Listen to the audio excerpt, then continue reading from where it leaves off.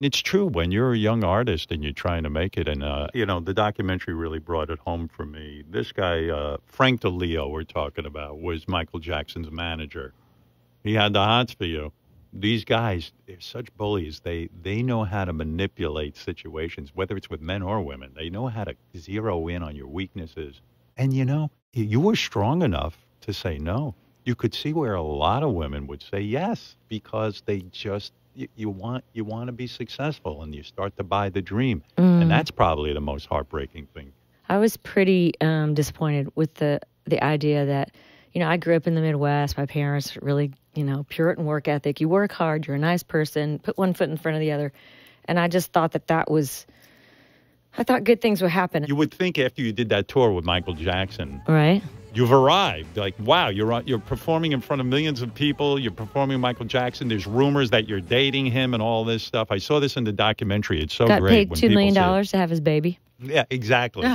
and you were the girl who was with Michael Jackson, which they probably put out to make Oh, him I'm seem sure. like he was, yeah, I'm, I'm sure, sure it was of it. planted. Yeah. But after that tour was over, you went back to your waitressing job. Yeah. Like that's the reality of show business. It's such a crazy scene. That And- whole when people- thing, though, I mean, you know, um, well, there's a whole backstory to that with having his manager take that notoriety that I was accruing and, you know, trying to architect some some pop career around me. And I didn't want to be a pop star. And then the sexual harassment was involved in all that. And then the threat of you're never going to work.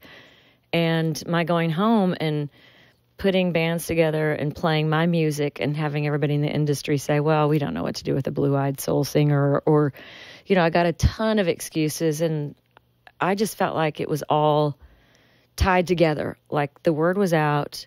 Frank had sabotaged me. And also, there wasn't, you know, I'd, it was Lisa Lisa and the Cult Jam and Madonna and Paula Abdul. And I came off the Jackson tour and I wasn't that.